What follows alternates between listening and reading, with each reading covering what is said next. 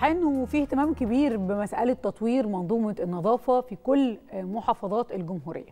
بدأت في محافظة القاهرة وتم عمل كود لكل عمارة وبصمة لجامعي القمامه علشان تكون منظومة النظافة الجديدة فيها نوع من أنواع الانضباط والمتابعة.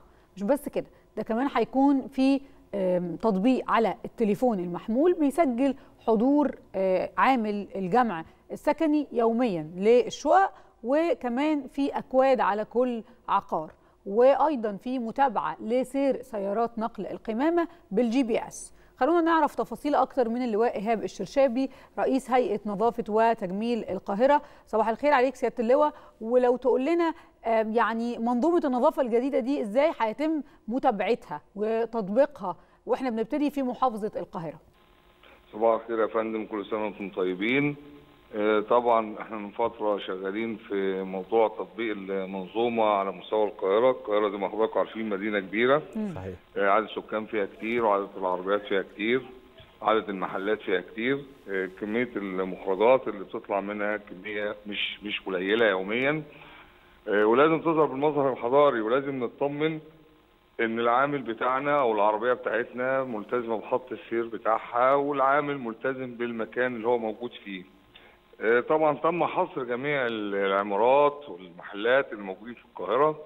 القاهرة اداريا زي ما حضراتكم عارفين مقسومة لأربع مناطق الجنوبية والشمالية والشرقية والغربية. الشرقية والغربية دلوقتي مع شركات خاصة Enviro Master في الشرقية وارتقاء في الغربية. والهيئة العامة لنظافة تجميل القاهرة مسؤولة عن الجنوبية والشمالية. بالنسبة يعني القطاع الخاص مشترك في المنظومة الجديدة لجمع القمام. أيوه يا فندم.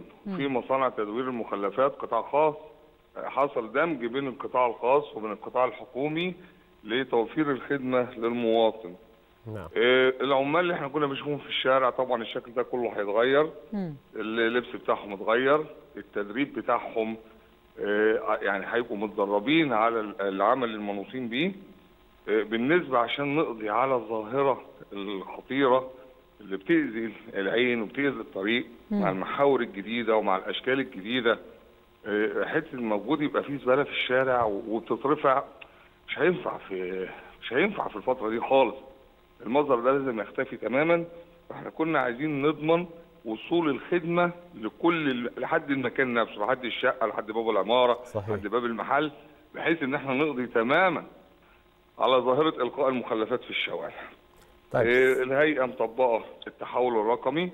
آه، قريب جدا هيكون في صفحة على الفيسبوك آه، بالنسبة للهيئة. فيها مكان للشكاوي. إحنا شغالين دلوقتي بالخط الساخن 152 64 للإبلاغ عن أي مشكلة تخص النظافة أو الإنارة أو التجميل. وطبعا زي ما حضرتك قلتي العربيات بتاعتنا بال GPS هتكون بحيث إن كل سواق يكون محافظ على خط السير اللي هو يتم مراقبة العربية وهي خارجة من النقطة بتاعتها نقطة البداية إلى نقطة النهاية بتاعتها بحيث إن مفيش أي حاجة تتصرف في الشوارع إن شاء الله.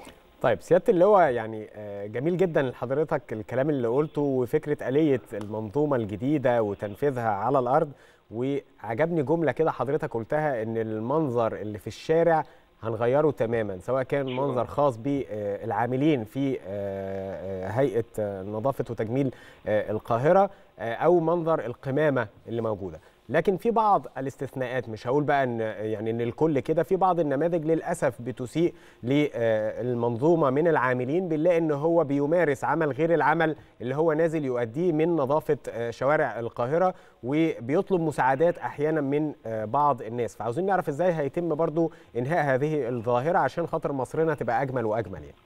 مع حضرتك الموضوع ده مهم جدا جدا جدا. في شراكة بيني وبين المواطن. صحيح. المواطن يعني مش آسف إن أنا أقول لحضرتك إيه، ما يكونش سلبي في الموضوع ده أي حد في الشارع بيمد إيده العربية أو لحد ده مش عامل نظافة أنا ما عنديش شحاتين مم. هو للأسف بيرتدي الزي الخاص بعمال يا النظافة فندم حتى لو مرتدي إزاي حتى لو هو ده ده بي- بيفصل فورا من المهنة بتاعته لأن أنا مش مش دي شغلتي أو مش. ده المكان يعني لازم هنا. سيادتك بتقول إن المواطن يكون إيجابي وما يتعاملش مع إيجابي يا. فندم ما يتعاملش معاه ما يصعبش عليه لأنه صحيح. بياخد مرتب كويس مهتمين بيه كويس لو لو في حصل تسريب في الموضوع ده لو في استغل طبعا إحنا بقالنا فترة كبيرة بننظر للراجل الجميل الكناس ده اللي هو على رأسي أنا شخصيا وأنا على رأس الهيئة آه، بننظر ليه نظرة دونية شوية لا يا فندم لا آه، انت حضرتك دلوقتي آه، يعني هتتعامل معاه على انه راجل غلبان في الشارع أنا خالص. بقول لحضرتك لا ده بيؤدي عمل يمكن أهم مني ومن أي حد موجود لأن هو بينظف يعني مكاني ال- ال- الفكرة كلها يا فندم التع... ال- يا ريت يا ريت مفيش مواطن يتعامل مع أي نوعية دي هتنقض هتنقضي من ناحيتنا إحنا صحيح. في مرات في في في في, في كلام مع العمال في كلام في مرور في الشوارع باستمرار بنمسك ناس بنمسك حالات وبنسلمها لاقسام الشرطة بيكونوا والله ما هم تبع النظافة خالص. لبس لبس كويس مسك مقشه مشي في الشارع خلاص انتهت بالنسبة له. فده لا لا يمثل الهيئة في أي نقطة يا فندم فمن فضل دي ودي المواطن ودي رساله ودي رسالة هامة بنقولها من هنا في صباح الخير يا مصر لأي مواطن لازم يكون آه، إيجابي وما يتعاملش مع يعني هذه ال- الظواهر أو هذه الحالات الفردية لأن هو لا ينتمي إلى يعني آه، هيئة نظافة وتجميل القاهرة أو أي يعني هيئة آه، خاصة بنظافة وتجميل محافظة ما يعني. تمام يا فندم. طيب سيادة اللواء عايز أسأل حضرتك عن الأكواد اللي موجوده على العمارات وأهمية الأكواد دي في المنظومة ومسألة البصمة للعمال. الكلام ده هيمشي إزاي؟ وهل المنظومة الجديدة دي آه، داخل فيها إنه يكون في آه، آه، سلات للقمامة في الشوارع؟ عشان يمكن في أماكن كتير الناس ما بتبقاش عايز ترمي في الشارع وما تلاقيش سلة قمامة موجودة. في باختصار كده في حاجة اسمها خطة تشغيل ال- ال- القاهره بالكامل متقسمة لمربعات اللي حوالي 302 مربع سواء في الأربع مناطق. المربع ده هو عبارة عن عدد وحدات سكنية وعدد محلات. كمية الخارج اللي طالع من اللي طالع منها محسوبة. الشقة تقريبا بتطلع 2.5 كيلو في اليوم بالنسبة للمخلفات.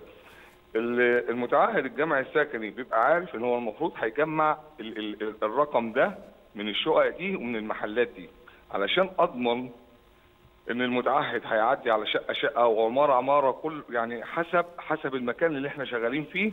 هيتحط فيه باركود موجود هيتحط إن شاء الله لسه يعني هينزل يعني لسه لحد دلوقتي لسه ما نفذناهوش. ولكن هيتحط وهيبقى معاه جهاز بحيث إن هو وصل للمكان ده. scan بيعدي على الباركود البار بيعدي على الباركود بيسمع عندي في مركز المعلومات بعرف إن هو وصل للنقطة دي. مم. وفي الأول وفي الآخر ده نظام مراقبة ومحاسبه مني للي شغال على الأرض ولكن المواطن هو عيني في كل مكان في القاهرة. صحيح. علشان كده علشان كده صفحتنا على الفيسبوك نازلة في خلال 15 يوم 20 يوم بالكتير فيها مكان لتلقي الشكاوي في المكان بتاعها بصورتها بتيجي عندي بتصب عندي في مركز المعلومات بوديها على النقطة اللي جات لي منها بيترفع أو بتحل المشكلة في وقت وفي حينه على طول. صحيح.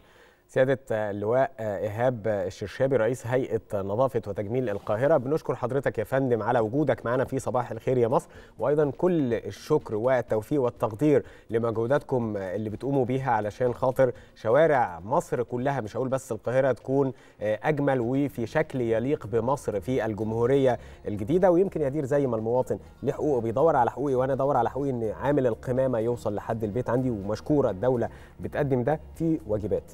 أعتقد أقل واجب عندي المنظر آه، المسيء اللي إحنا بنشوفه بقى بتبقى العربية ماشية وتلاقي بيرمي الكلينكس بيرمي آه، كوباية فاضية بيرمي اي مكان المخلفات اللي موجودة لأ صحيح. هي بلدنا.